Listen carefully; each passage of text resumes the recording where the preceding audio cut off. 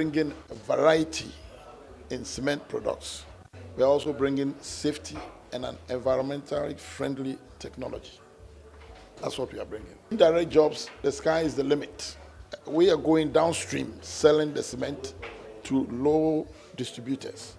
So it's not one man, big distributor, taking all and having 10 employees. We are going to many, many hundreds of people who are distributors all over.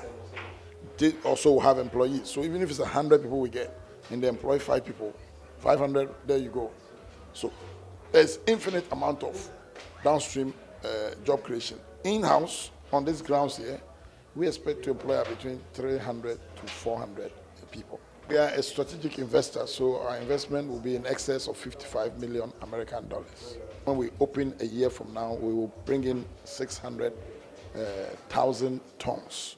Soon after that, depending on the market, if the demand is still there, we'll move on to a million.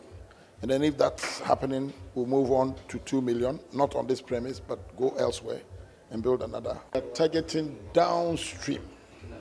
Downstream. We're not looking for middlemen or anything. We're selling the, taking the cement and its low price to the downstream buyer like yourself. We bring it straight to you and you buy. So we have somebody in, in your neighborhood who's taking the cement and giving it to you at the lowest cost possible instead of a fat margins being put in there by the big players.